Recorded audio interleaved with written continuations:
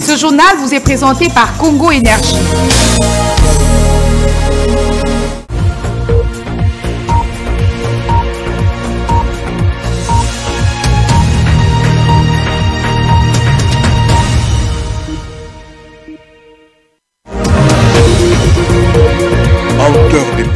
Congolaises interdites de fouler le sol américain, l'annonce de cette mesure a été faite ce vendredi. Les causes anthropiques et naturelles sont là quelques facteurs à la base du délabrement des routes à Kinshasa. L'affirmation est de l'ingénieur, géomètre et topographe Papi Kabadilelo. Vous l'entendrez dans cette édition. Nicole Pochot vous présente ce téléjournal. Bienvenue à tous.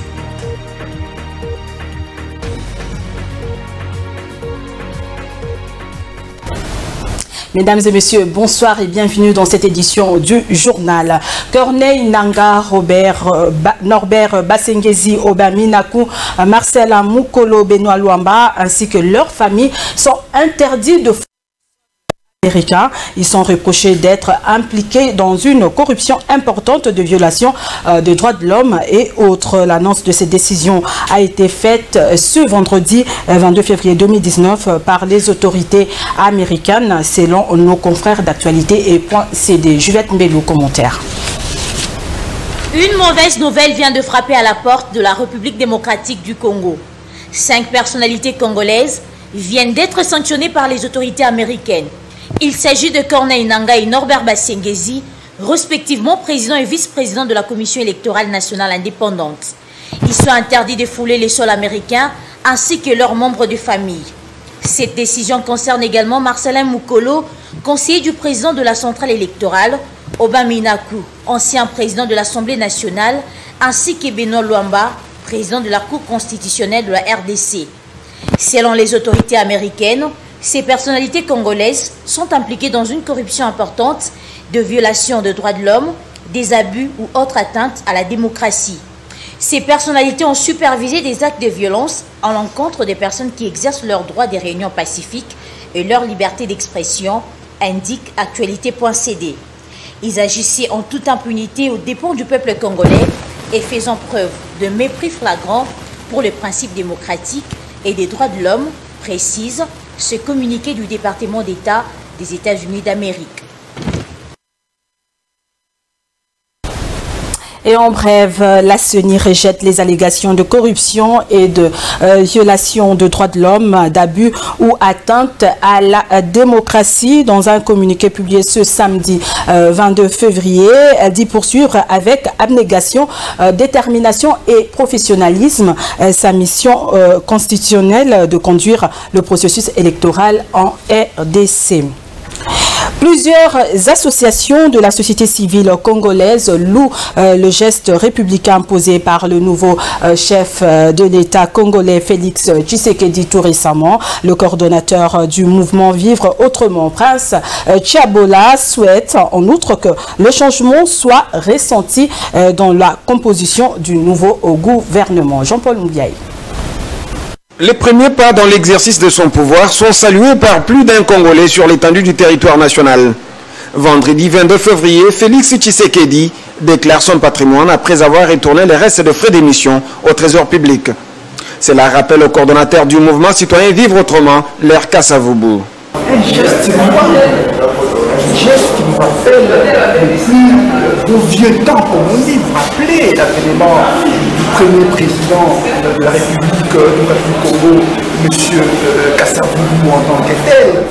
Et tous ceux, les autorités euh, qui peuvent s'inscrire dans une logique des valeurs qui sont Mais le changement tant attendu devrait être remarquable dans la configuration du gouvernement à venir sous le régime de Fachi, soutient Prince Sabola. Selon lui, il faut des hommes nouveaux. Nous pensons que nous parlons, nous parlons aujourd'hui de et que cette alternance devra se matérialiser par justement les hommes. Comme vous avez vu, même le président euh, de la République, le nouveau président en tant que tel, euh, c'est un homme nouveau. en tant que tel. Nous voulons justement marquer cette image en tant que telle, mais plus revenir avec les, les images ou encore le visage connu, trempé dans la mégestion, trempé dans toutes les antivaleurs que nous décrions aujourd'hui.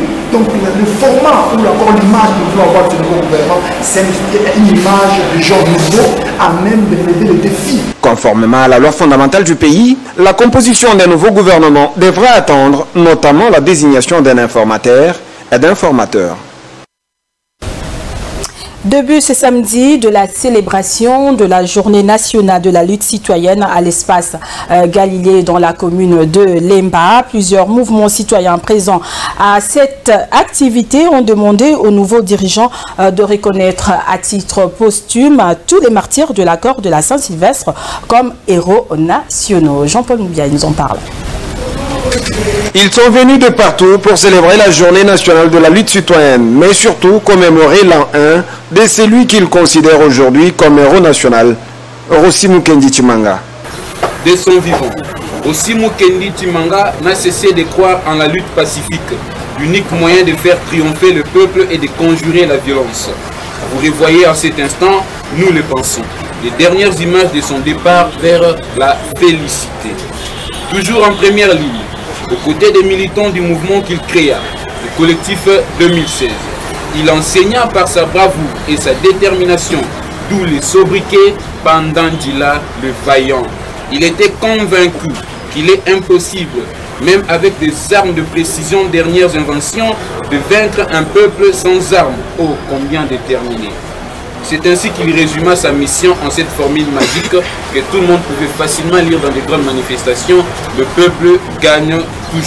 Une occasion pour une trentaine de mouvements citoyens congolais de réitérer leur engagement à garantir la démocratie par notamment des alertes contre la régression des valeurs qui doivent être le socle d'une société.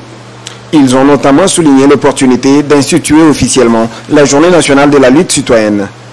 Au regard de ce qui précède et au nom de la réconciliation recherchée et demandée par l'actuel président de la République, Félix Antoine Tshisekedi Tilombo, le mouvement citoyen s'attelle à travers ces jours de célébrer le premier anniversaire non seulement de la mort du héros, Osimu Timanga, mais aussi la célébration de la journée nationale de la lutte citoyenne. D'exiger les devoirs qu'a notre pays, de faire prévaloir le principe qui organise un état de droit afin que la justice soit faite et que le bourreau des crimes soit sévèrement sanctionné par la rigueur de la loi.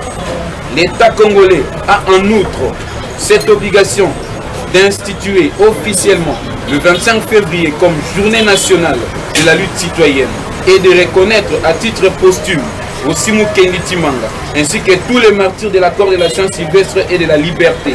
Nous citons Hussein Ngannou, Thérèse Kapangala, Eric Boloku, Luc Nkulula et tant d'autres comme héros. Commencé ce samedi 23 février, cette célébration devra se poursuivre pendant trois jours. Pas de passage de véhicules sur la route de Matadi au niveau de la Résap dans la commune de Mongafula pour cause la pluie diluvienne ce jeudi 21 février a coupé la nationale numéro 1. Le riverain de cette artère de la capitale lance un SOS à l'endroit des autorités et compétentes. Alain. C'est justement la pluie la pluie qui a causé cela. Et à part ça aussi, vous allez remarquer en face de l'église, il y a un monsieur qui est en train de construire. Alors avant la pluie, il avait jeté les pierres, les grosses pierres qui, a, qui étaient justement au niveau des caniveaux. Et euh, lorsque la pluie a commencé, l'eau n'arrivait pas bien à couler. Et euh, l'eau directement a pris la direction de l'église, de l'avenue de l'église. Alors euh, la, la, route est vraiment difficile. Alors les gens ont du mal de, passer. Des difficultés énormes puisque vous voyez vous-même, il n'y a plus de transport, ça handicape les gens et puis il y a des maisons qui sont écroulées. Ça nous fait mal, très mal, très mal. Puisque vous voyez, c'est la route numéro 1, la route qui vient de Matadi. Nous demandons qu'ils viennent vite, rapidement, disons, nous refaire tout ça et puis euh, voilà avec les petits, les petits, les, petits quoi, les petits, les, petits caniveaux comme ça. Est-ce qu'une route principale de Kinshasa jusqu'à la frontière de l'Angola, c'est impossible Aux autorités, de la ville de Kinshasa de bien pouvoir euh, y prendre des mesures efficaces pour arranger cela. Sinon, sinon vraiment, c'est un désastre pour tout le monde. Il y a quelque part un blocage. Ça bloque vraiment, le, ça freine les activités euh, économiques qui peuvent s'exercer ici. Il n'y a pas eu de, de mort jusqu'à présent. On n'a pas vécu un décès jusqu'à présent. Donc aujourd'hui encore, on est en train de voir que la pluie pourrait tomber encore et ça pourrait encore faire de, de problèmes sérieux. Deux causes principales sont à la base de la dégradation des routes à Kinshasa. C'est ce qu'a affirmé Papi euh, Kabadi. C'est ingénieur euh, euh, géomètre topographe a indiqué que ce sont les causes anthropiques et naturelles qui constituent essentiellement la source motrice du délabrement des infrastructures routières dans la capitale congolaise. Suivez. La mauvaise urbanisation et le changement climatique font partie des facteurs à la base de l'état déplorable de route de la ville-province de Kinshasa. Telle est l'analyse faite par cet ingénieur géomètre topographe. Papika Badilelo suggère cependant la redéfinition de la politique d'urbanisation de la ville par des personnes compétentes. Le politique, en principe, il doit faire un effort de mettre des gens à des endroits clés par rapport à leur profession. Par exemple, dans le ministère de l'urbanisme ou affaires foncières ou autres, on doit placer quelqu'un qui a subi une formation en la matière. Le politique doit faire un effort qui est une bonne politique d'urbanisation, par exemple la ville de Kinshasa.